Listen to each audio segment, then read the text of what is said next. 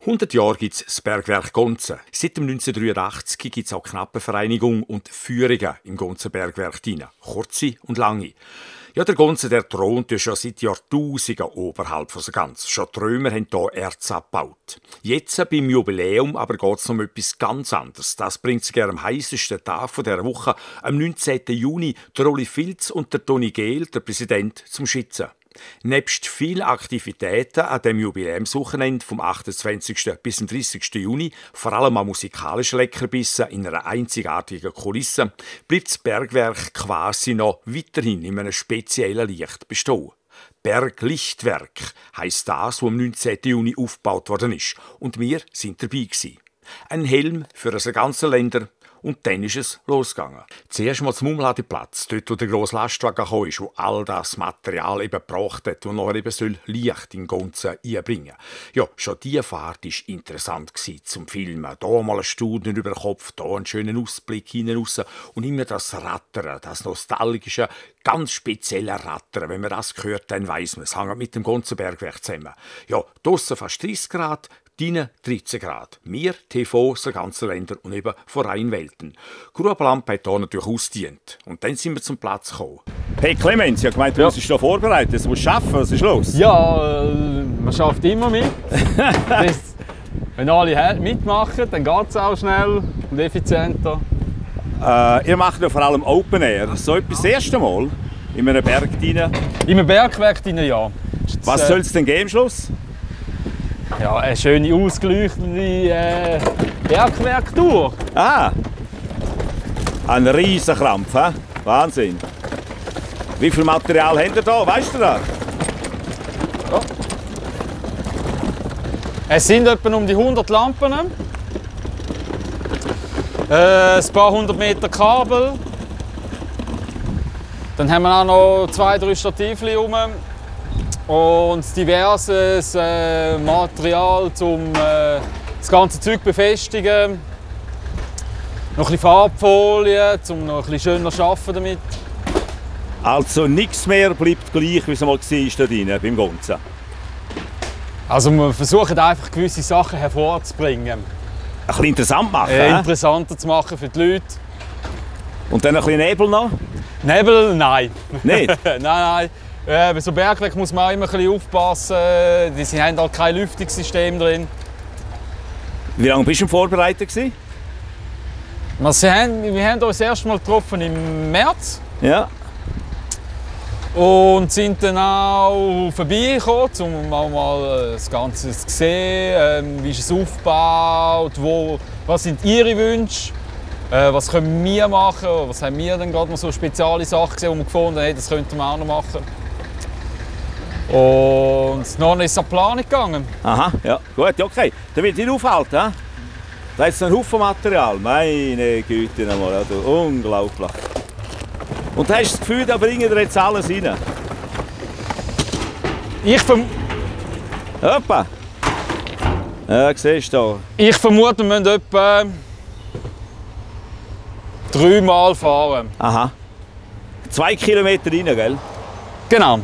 Schon schön, dass es so Band Stell dir vor, du müsstest mit Paletten reinstoßen, unglaublich. He? Aber du bist dir bewusst, gell, die im Bergwerk, die haben dann so Strecken einmal zu Fuß zurückgelegt zum Teil, oder? Das ist so. Also Chapeau, wäre nichts für mich. Du kannst beides, gell? Du kannst beleuchten und arbeiten. Aber du bist ja der Beleuchter vom Kunden, der Lieblingsbeleuchter, gell? Ja, ich kann besser beleuchten als arbeiten, muss ich ehrlich zugeben. Aber das Beleuchten ist voll drauf, gell? Also, meinst du, ist etwas Spezielles hier im Bergwerk? Ne? Ja, sehr, sehr. Also, es ist eine grosse Herausforderung, um die Spezialitäten zu sehen, die wir rausholen. Und es ist immer wieder erstaunlich, was für Wirkungen das man erzielen kann. Das ist grossartig. Und dann muss man dann, äh, du weißt ja nicht alles, wie es genau rauskommt. Du musst auch dienen, dann schauen, du musst anpassen. Genau, wir tun uns, wir tun uns dann äh, reinfühlen und das Optimum rausholen. Ja, es geht, wenn wir aufhören. Rundum heisst Achtung, Achtung, Ja, es geht voll ab. Ja, Toni Gehl, Lokführer, Stühle umtragen, tief schnaufen, da geht etwas ab. Für dich auch etwas Spezielles.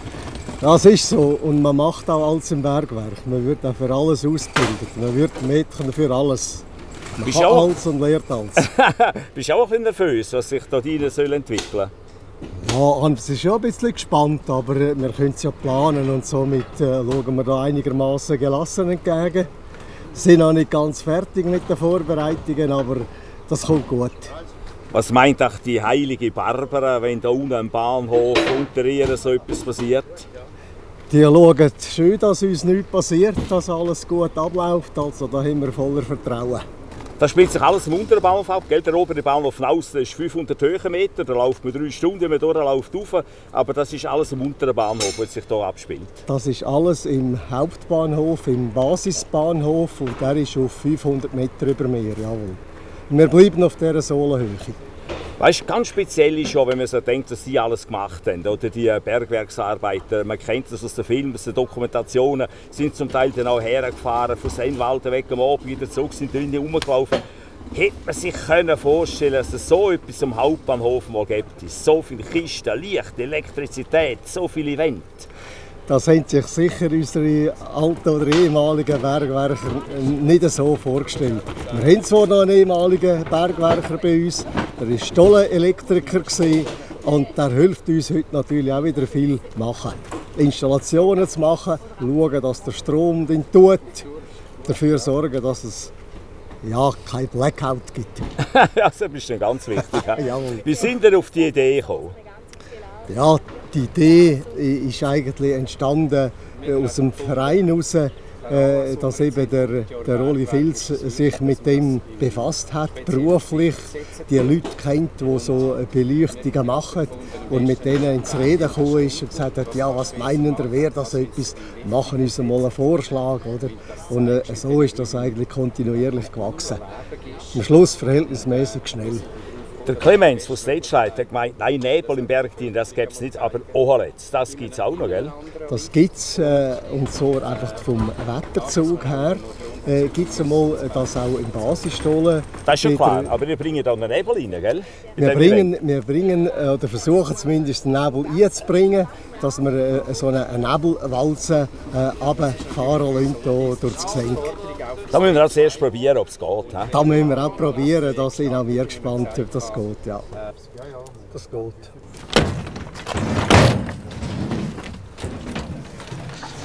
Und wie sieht es aus, Clemens? Haben wir es im Griff? Ja, es sieht sehr gut aus. Wir schauen, dass wir jetzt so kompakt wie möglich laden können, dass wir einfach so wenig wie möglich fahren müssen. Aha, darum hast du gemessen, gell? Genau. Ja, super. Du, äh, das sind ja unglaubliche Finanzen, die hier verladen werden. Bleibt das auch alles drin? Das bleibt noch äh, einfach für bis Ende Veranstaltung. Äh, bis Ende Juli bleibt es drin. Das hast alles du verbrochen, hat mir der Toni gesagt. Du bist auf die Idee gekommen. Ja, das stimmt. Wir haben äh, lange gewährleistet, was wir machen sollen. Und äh, das erste war natürlich das Konzert, wo wir uns darauf freuen mit dem Michael Seele. Ich habe einmal gehört, anlässlich von einem Gothic äh, Musikfestival bei uns im Bergwerk und ich habe gefunden, der passt super zu uns, zum Berg, mit dieser mystischen Musik. Und dann ist natürlich naheliegend, was sind wir im Berg? Wir haben einen Haufen Stellen, alles ist dunkel. Und äh, das Schöne ist ja, mit Licht etwas zu schaffen, etwas zu inszenieren. Und ich habe früher schon mit der Stage Light zu tun gehabt. Ich weiß, dass das Profis sind, dass die das auch können ins rechte Licht rücken. Was sagt denn der Bergwerker unter euch? Weißt der, der Elektriker war? Wenn der Berg so entfremdet, ihm auf einmal so viel Licht einbringt? Ja, wir haben schon ein bisschen äh, Überzeugungsarbeit gebraucht zuerst. Aber es ist ja temporär. Und äh, so wie ich festgestellt habe, kommt er auch langsam ein bisschen Freude über. Und es ist ja nicht für lange Zeit. Das soll einfach eine temporäre Sache sein. Und äh, das ist ja das Schöne, dass man nach dem Bergwerk die Ruhe alles wieder zurückgehen. Und umgekehrt finde ich wichtig, dass wir den Leuten mal zeigen, was da in dem Berg eigentlich geschehen ist, wie groß das, das ist. Normal, wie wir da mit unserer Grubenlampe rumlaufen, dann siehst du nur einen kleinen Lichtschimmer. Und jetzt geben wir diesen Räumen mal Konturen. Wir geben diesen Räumen Leben und Farben zum Teil. Es soll nicht kitschig sein, es soll äh, einfach ein bisschen Leben reinbringen. Farbe. Wir sind gespannt, gell? Sie müssen selber ausprobieren. Da kommt noch ein Nebelwalze. Ihr habt sonst schon ein bisschen Nebel und Nässe rein.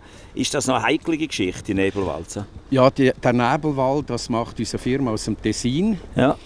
die tun etwa mit 160 Bar die Wasser äh, durch die Düsen durchpressen und dann sollte das einen Nebel geben. Da sind wir ein bisschen abhängig vom Wetter, also von der Luftbewegung im Berg. Wir hoffen, dass wir schönes warmes Wetter haben, dann kommt die Luft von oben runter und dann geht in der Nebel auch in die Richtung, wo wir es haben wollen. Und wir haben den Nebel bewusst ausgesucht. Äh, wir können nicht mit Bühnennebel und so arbeiten, weil äh, das hebt relativ lang. Und dann hätten wir am Schluss im Restaurant draußen und im Aussenbahnhof hätten wir alles vernebelt und das will man nicht. Jetzt hat er eine Hand auf die Schulter gelegt. Ich glaube, es braucht ja die Arbeit wieder, oder? Ja, Gut, wir okay. es jetzt. Ja. Wir freuen uns und wir sind gespannt. Ich denke, es ist das ganze Team hier vom Bergwerk und auch die Stage ist jetzt gefordert. Und ich denke, es gibt noch ein bisschen Improvisationen, weil jene mit dem Aufbau wird man vielleicht das eine oder das andere sehen, wo man nachher in anderer Form wahrscheinlich ins rechte Licht setzen. Und ich freue mich darauf, auch, äh, dass wir hier den Leuten, die uns besuchen, etwas, etwas äh, was es nicht mehr gibt, nachher können zeigen Bis im Juli, gell, ungefähr ist es? Das Ganze läuft vom 1. bis, also zuerst sind wir zu Fest, 29. bis 30, 8, 29. 30. Juni. Und vom 1. Juli weg bis zum 21. Juli kann man bei uns über das Sekretariat kann man Führungen buchen. Wir haben auch fixe Führungen ausgeschrieben, wenn jetzt Einzelpersonen kommen. Und dann kann man das in einem Zeitraum von zwei Stunden für 15 Franken kann man das wirklich anschauen, geniessen und äh, ja, sich inspirieren von dem Licht und von der Schönheit unseres Bergwerk.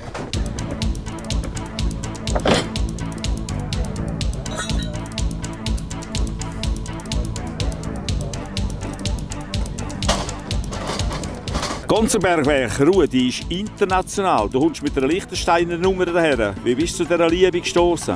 Ja, ich habe, als ich noch angestellt war bei der Öflikon, habe ich natürlich immer im Werk Trübach gearbeitet. Und schon familiär haben wir immer Beziehungen gehabt Aha. zu einer Familie in Atzmoos. Und was ist das, für dich? Der, ich, was ist das für dich, der Event hier? Jetzt, äh... Ja, natürlich ein Highlight. Oder? Das ist mal etwas, was nicht alltäglich ist. Oder?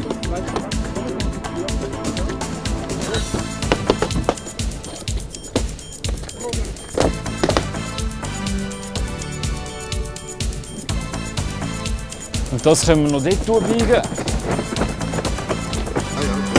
Gut. Ah,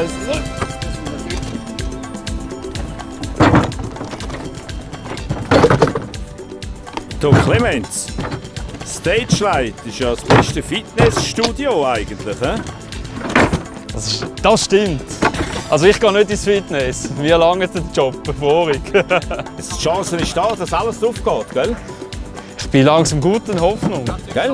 Unglaublich. Und weißt du, was du auch in der Tasche hast? Es gibt einen Nebelwall rein. Von einer anderen Firma installiert. Die machen voll an den Nebel hier. Das ist doch gut. Hat das Einfluss auf eure Beleuchtung? Äh, nein, wir versuchen es zu kombinieren. Aber das legen wir schon an. Sehr gut. Ja, jetzt geht's ab. Ab sofort sind wir Kumpel, oder? ja, genau. ah, das ist vorher bei Stage Light nicht so. Das ist nicht doch, doch, jetzt ja. sind wir Kollegen. Ja, so. Freunde, aber jetzt sind wir Kumpel. Jetzt Kumpel.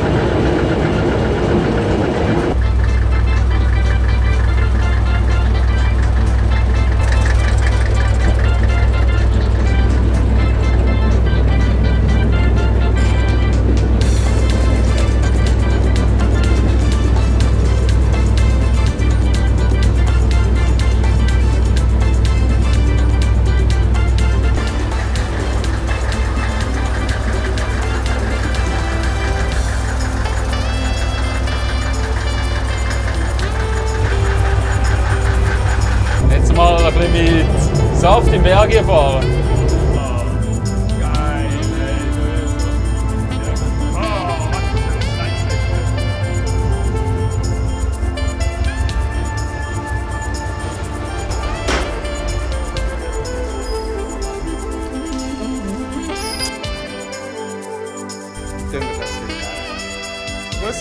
weil er für sie vielleicht im Steillager hinten einmal können, äh, mit dem Akku zwei, drei Szenen machen dass sie können einfach einen Eindruck mitnehmen jetzt für Fotos und das Fernsehen.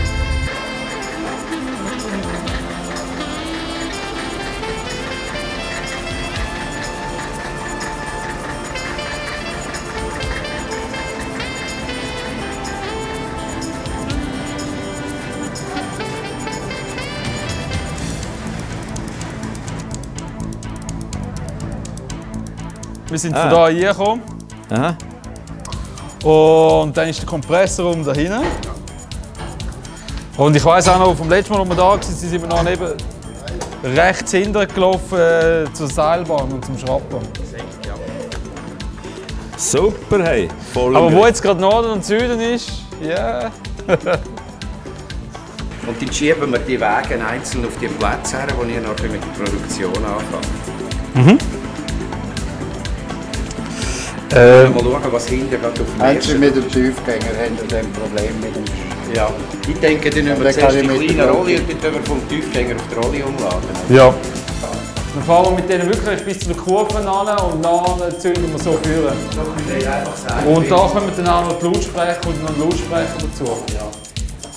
Ich denke, da müssen wir noch miteinander initiieren, mal gesetzt ja. bei mir, muss jemand von euch sagen, wie es am besten ist von, von der, vom Standort von der ja. Ohren. Und eventuell weißt du, auch das Kippen und die ganzen Sachen. ja. Ihr könnt auch etwas in die Ohren rein tun, weißt du, wo wir vielleicht den Gegenlicht sogar machen In der Mitte oder in der hinteren sieht man es nicht. Und das Ziel ist ja, dass man die Lichtquellen nicht sehen, sondern genau. wirklich nur die Konturen vom Fels sieht, dass man, dass man die Strukturen führen können. Das Kabel ist schon verleiht hinter. Nein, das können wir machen, vorbereiten. Gut.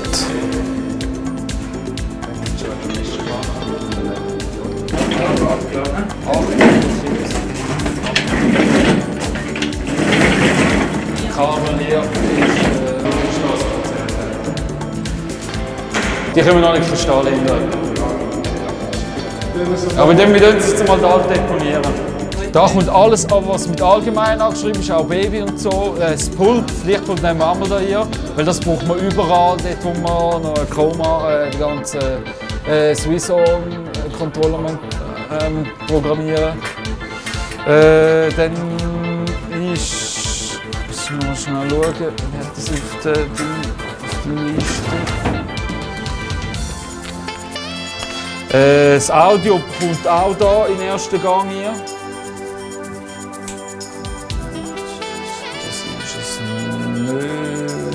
Kristallkammer. Das sind die ganzen Gummilampen und Brenner, die können wir auch mal da lassen. Äh, ja, genau. Förderstollen 2, Förderstollen 1 bleibt da. Äh, das kommt noch alles dafür in die zwei Gänge, wo wir jetzt gerade vorne waren. Dort zu den Wegen ist Förderstollen 1 und der nächste Gang ist Förderstollen 2. Äh, ins Seillager hinten, wir, dann müssen wir jetzt wirklich da einen kleinen schnell frei machen, oder?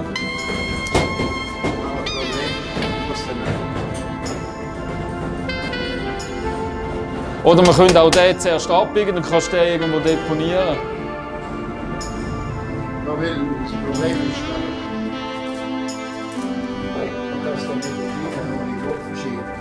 Ja. Man muss halt wieder aufladen. Steillager. Und den haben wir drin. Frau. Ist Luftfeuchtigkeit noch ein Problem? Was ist für die Wade?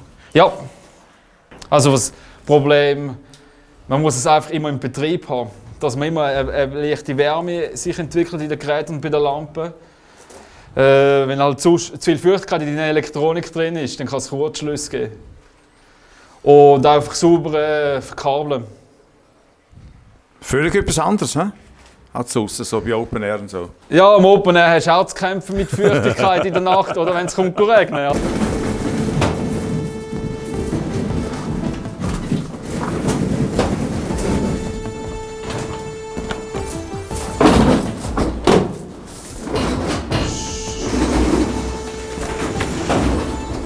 Ziel ist ja nachher wahrscheinlich, dass möglichst wenig von dem Material sieht, sondern dass das Licht vor allem bei der Wand wirkt, oder? Genau.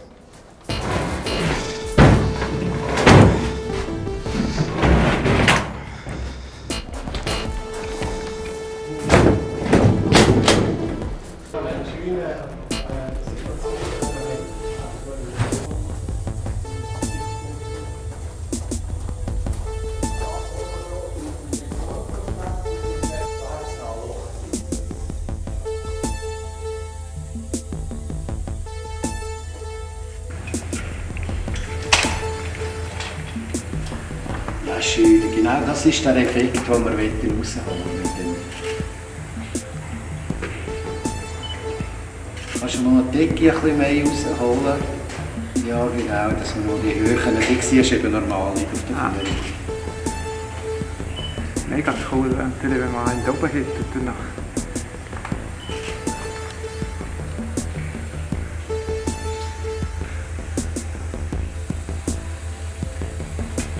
ist was eigentlich wenn jetzt in die Felsen, in die Leben, in der Kultur, dass die, die, die Schattierungen, die Farbtöne, das ist, finde ich, ist etwas Faszinierendes.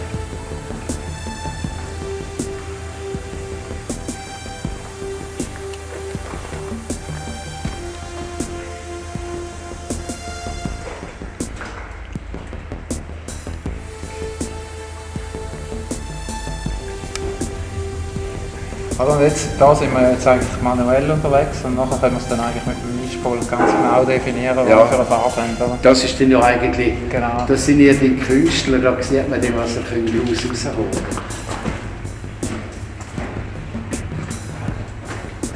Das ist genial. Ja, guck mal, wie das, wie das, das lebt, oder? Jedes ja, Rissling.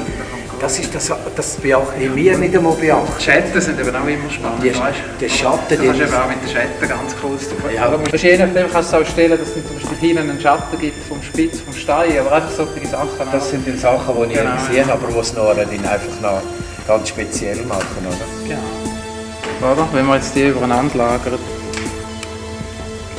geht es so ineinander rein, oder?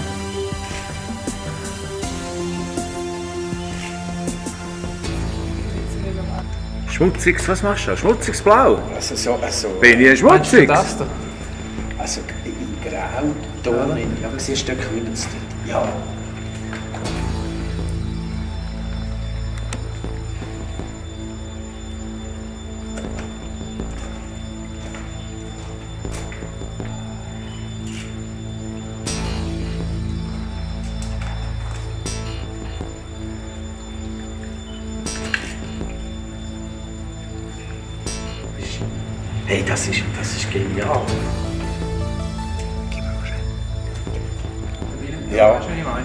Wir könnten eventuell hinten, wenn man alle macht, hier geht es 90 Meter gerade rauf. Hier ja. geht es nächst hin. Und hier gehen wir dann auf der Galerie 2 oben, wenn wir die zwei Führer mit, wenn wir von dort weg ein Kabel oben runter Und dort hat der, äh, der Jan und der, und der, äh, der Michi dort eigentlich vorgesehen, dass wir in der 30 Meter oben einmal einen, den du gerne siehst, aber drei aufzünden, wo man einfach mal sieht, was, was da vorgeht. Lassen wir die Schwärze einfach einmal aus, aus, aus unseren Räumlichkeiten raus. Du bist begeistert, hä? Ja, ist wichtig, sonst wäre ich am falschen Platz. Schmutziges Grau hast du gesagt, das Grün hat dich begeistert. Gibt es Vorlieben? Nein, ich muss jetzt sagen, ich lasse mich von ihnen überraschen. Sie sind Profis und äh, Jetzt können sie einmal auf unsere Felswände malen. Äh, ich will einfach nicht so kitschig pink oder so irgendetwas drin haben. Äh, es sollten in natürliche Töne reingehen, alles Zimmer. Und wir haben jetzt gesehen, wenn sie mit zwei Farben mischen, das gibt etwas Tolles. Ja, Clemens, so logisch. He? Ich habe immer das Gefühl, wenn jemand so redet wie der Rolli, er möchte gerne mitreden. Wird es eine schwierige Angelegenheit? Äh, ist sicher eine Herausforderung und wir werden uns das Beste geben um seine Wünsche zu erfüllen. Benni, du drückst es so ein bisschen umeinander, sieht locker aus. Ist, äh, ja, ist mega schwer. Gell? ja. ja. Aber, Aber, ich glaube, äh, es wird fantastisch. Und du bist auch begeistert, gell? Ja, ich finde, der Bühnenbildner hat da ganz eine gute Vorarbeit geleistet. So weit hast du schon mal gesucht, he? Ja, genau. Ja gut, das dann. Also ich nehme an, du bleibst jetzt im Berg rein. Ja, ich komme mal zwischendurch äh, etwas essen. Und, äh, aber wir werden da miteinander ein das gestalten. Aber Sie sind Maler jetzt und das kommt gut. Schön, die weißen, die Kalzit oben dran, die kannst du noch richtig zum Leuchten bringen, oder? Der Benni juckt hier. Siehst du jetzt auch neue Sachen hier? Also, dann ist es von Kalzit. Siehst du so ja. neue Sachen hier auf einmal? Wir hier mit unseren armen Seelenlichtungen sind nie so weit rauf. Aha. Und wo hast du denn Kalzit? Benni, zeig noch mal rauf. Und kannst du einen Grün herkriegen, oder? Ei, ei, ei, ei, ei, ei, ei, ei. Der Gunzen lebt, hä? Machen wir mit Sian. Ja. Hast du jetzt, glaube ich, oder? Ja.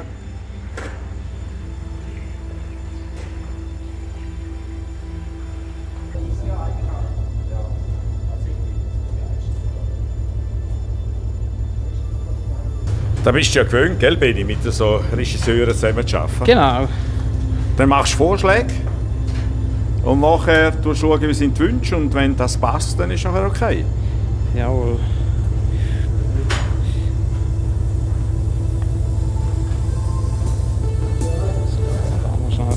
Dann bist du jetzt eigentlich fast ein bisschen der ganzen Bergwerksmaler, he? Ja, also ich, ich mache eigentlich Bestellung und sie tun es dann ein bisschen ausmalen, das Ganze. Aber ich denke, sie sind Profis. Farben, das ist eine Kunst mit Farben, kannst viel äh, gestalten und machen. Sie kennen die Farbstrukturen. Wie mischst du das am besten? Mit äh, Rot-Blau-Tönen. Was kannst du rausheben? Etwas nicht wenig, etwas nicht viel. Und das ist natürlich äh, gewaltig mit den Techniken, mit den, mit den neuen LED-Leuchten und so haben wir natürlich Möglichkeiten, wo wir wirklich jetzt können etwas schaffen können, Eindruck macht. Hey, schau, es hat der Pink drin gehabt, der Benni. Ja, aber nur Da, ganz da willst du gar nicht, gell? Pink willst du gar nicht. Ja, also nicht gerade so, so äh, wie da unten irgend in diesen angeschriebenen Häusern, oder? Sag nie gar nicht. weil, weil, weil Nein, manchmal... nein, Prinzessin Aurora, komm, mach einmal. Nur mit mir mal gesagt drei. raus. ah. Und jetzt noch Pink, Benni. Pink! Aber du, aber hey, hey, hey, Rolli, sieht doch hervorragend aus. Also da, nein. Gefällt es dir nicht? Ja, ja es sieht nach heiß aus, komm, knallt es noch mal drauf. Gut, jetzt. so. Jetzt mit der Lustige beim Licht, eben, je nachdem wo ist, aber... Es ist Ja. natürlich schon nicht im Bergwerk immer eigentlich Ja, haben wir eigentlich natürliche Farben. Also Pink ist für mich ein bisschen Oh angehaucht. So. Aber wenn man jetzt über, einen- über einen Überkopflader durchschaut, das ist ja auch das, was wir wollen, Maschinen inszenieren, wo man so, so vorbeiläuft, man nimmt es wahr. Und wenn man jetzt da schaut, wie sie jetzt da mit zwei, drei Handgriffen den Überkopflader inszeniert haben, ist natürlich fantastisch. Ja, also, Benni, Pink ist gestorben, definitiv. hä? Ja, genau. Okay. Pink ist etwas für dich am Tag. Moment, das hast du schon wieder Pink da unten? Ja, das war Mittwoch Mittag. gewesen. Ja, Berglichtwerk. Der Ganze in einem ganz anderen Licht. Da muss man natürlich erproben, da muss man tüfteln. Wir sind sicher alle gespannt, was rauskommt.